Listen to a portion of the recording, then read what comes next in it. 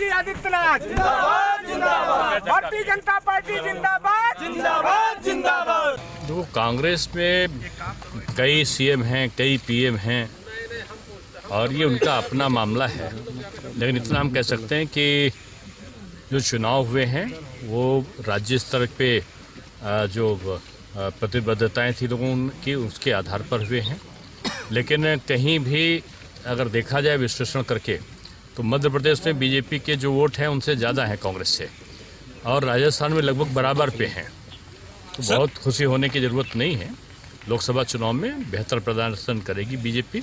हमारा कार्यकर्ता आज से ही लग गया है। और चुनाव में आने वाले समय में अच्छे परिणाम